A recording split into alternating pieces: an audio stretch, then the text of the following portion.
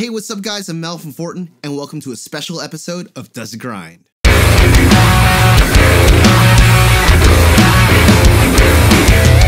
In this episode of Does It Grind, we are joined by a guest, Stay Metal Ray. If you guys don't know about Stay Metal Ray, he is a fantastic YouTuber that focuses on guitar based content. Check out his catalog, he's got tons of great videos, and he's an avid Fortin user. In this Does It Grind, we will be grinding with the JCM 2000. So enough talk, let's jump into the grind. All right, so we're here with Ray, Stay Metal Ray. Say say what's up, Ray. What's up, man? How are you? Thank you so much for having me, dude. This is awesome. Of course, of course, man. So as you guys may or may not know, this is the first remote Does It Grind. We got Ray all the way from Philly, you said? Yes, sir. Philadelphia, Pennsylvania, United States. That's where I'm located. Earth, planet Earth, too. So I'm down here in Anaheim, California, and we're gonna do something a little fun. Ray is sending me his DI track through the internet using a program, and then we are getting it into my Marshall JCM 2000, running into the Roach, splitting off into the Zuul, and then we're gonna grind with it. Uh, Ray, can you tell me about what uh, guitar you're chugging with today? Sure. I am using my Kiesel 7 string Hyperdrive multiscale with Kiesel lithiums uh, loaded in it. One volume, three way. Super simple. Um, definitely fitting for this Does It Grind segment. Very metal guitar. And, uh, you know, similar to my tone and my tweaking, which I'm sure you'll see here in a second, it's very simple. And that's kind of my mentality with everything. All right, so let's let's get to chugging. Ray, is there uh we're starting at everything at 12 o'clock. Is there anything in specific that you want me to dial in? Like, so I'm going to chug, see what it sounds like, start playing. And then from there, I'll, I'll, I'll tell you very kindly on what, what to do next. All right. all right. So, uh, let's just go for it.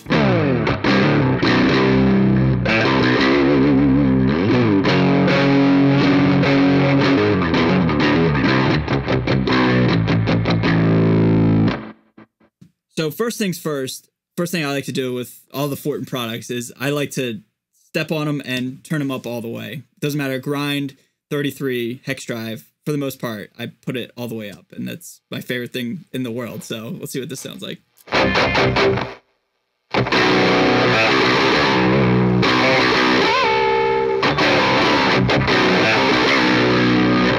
Uh, so right now, I think I need more amp gain.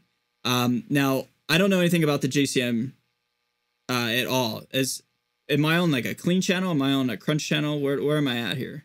To gain uh just the classic gain with the crunch on and it's at uh like 12 o'clock so i could give you a lot more gain if you'd like you want me to just Yeah, I want to I want to start with a lot more gain with the amp because I like I like to use more amp gain and then back off the pedals. okay Um, so yeah, let's do that. so i have it all the way up All right.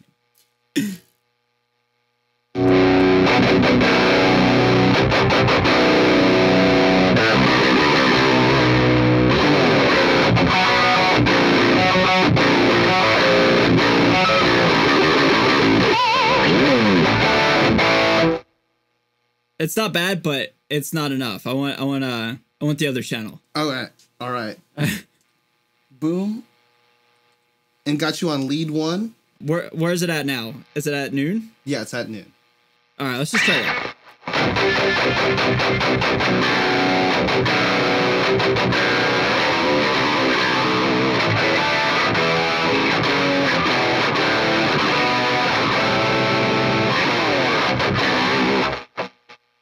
That's actually not bad. Um, I tell you what, can you turn down the grind? Like, put the grind at like three o'clock on on the face of a clock. Yeah, and that's that's like noon. There we go.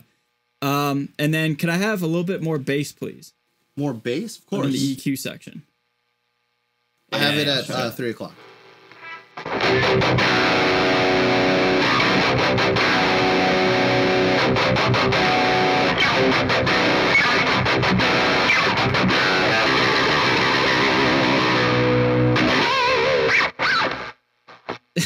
Dude, I don't know. That's that's that sounds pretty sick right there. Um, I think a tad a tad more gain, a little less grind, please. grind more gain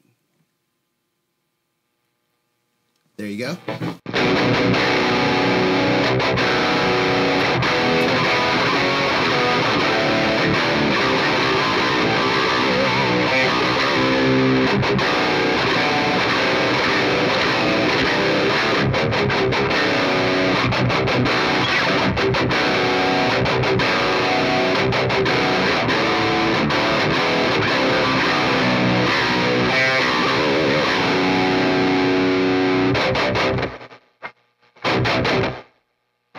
Yeah, I mean, honestly, I, how does it sound on your end? I think it sounds pretty sick to me right now.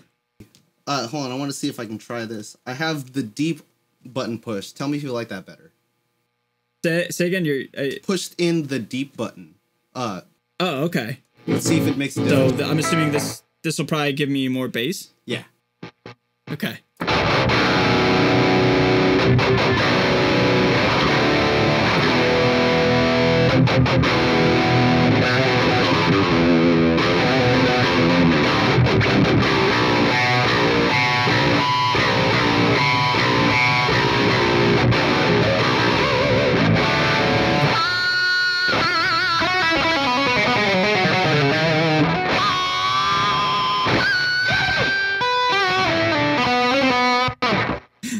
Sorry, I got carried away.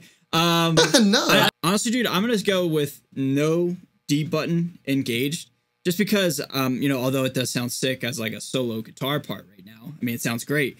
Um, just thinking like going forward and using this as like a usable mix ready tone or whatever. Like, the guitar is supposed to live in the mid range, and as cool and as like you know powerful it feels with a ton of low end. When you add extra strings, like for example a seven string, tuned down to drop A, and you have a lot of bass, it's just gonna muddy up everything, and it's gonna leave no room for a bass guitar. So I'm perfectly cool with just keeping that disengaged for the time being. yeah, 100% agree. Cool. Um, and then on that, on that, to caveat off of that, on that, on that thought, I would want just a little bit more treble Okay.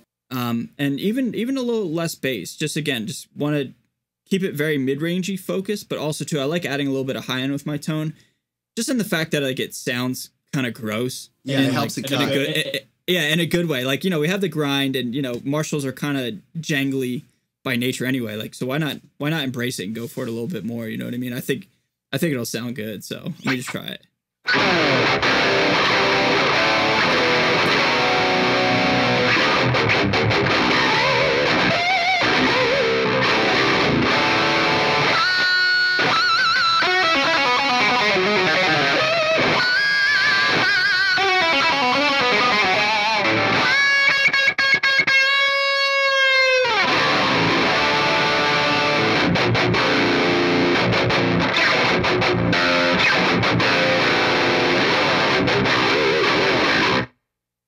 Yeah, I'm I'm, I'm cool with that. I dig it, man. yeah, let, I I think honestly like this would be a tone that I would you know absolutely love. I do love it. So like I'm totally cool with using that for you know the song that we have coming out and just using it as the tones for the mix. Sick. All right, so before we jump into the mix, let's listen to this without the grind just to see how much of an impact the grind has on uh, the tone. For sure. I'm gonna turn off the grind. Chug away.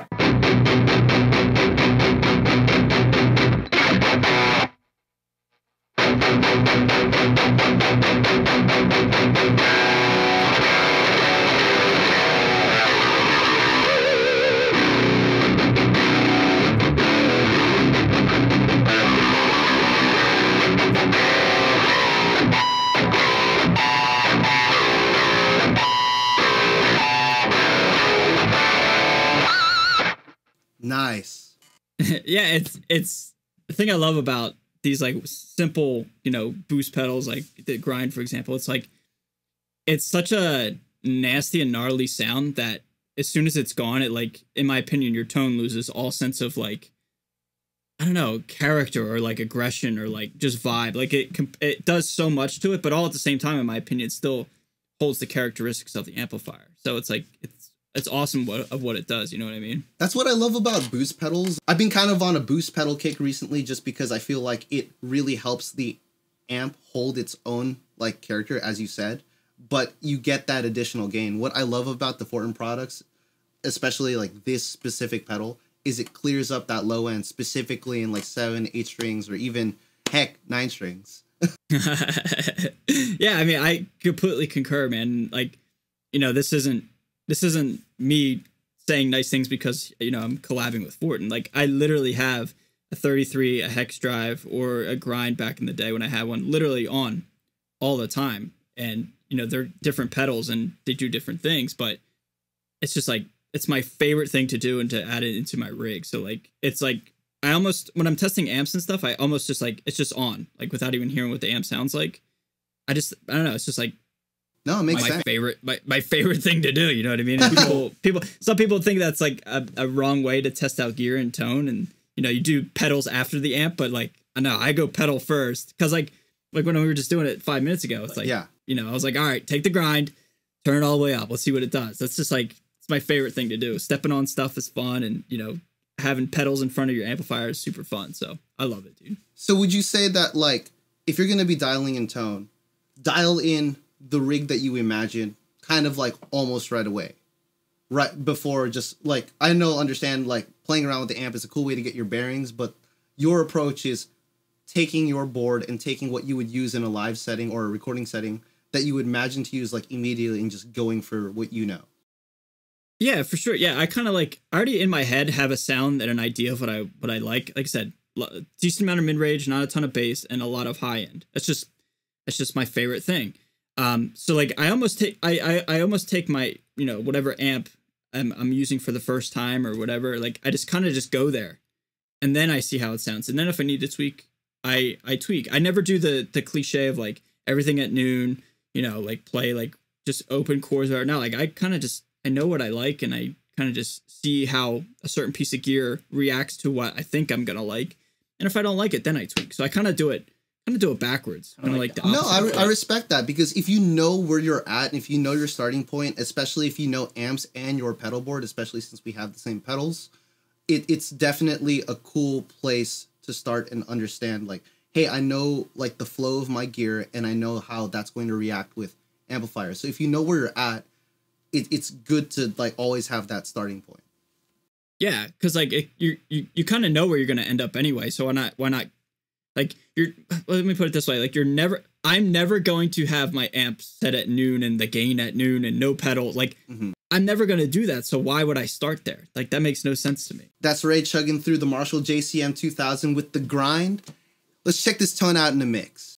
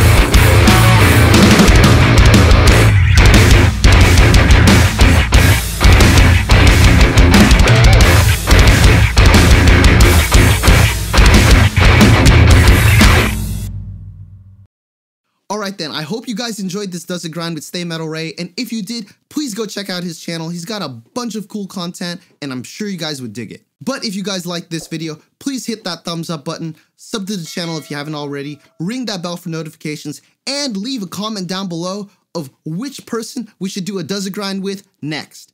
Take it easy, guys. I'll see you on the next one.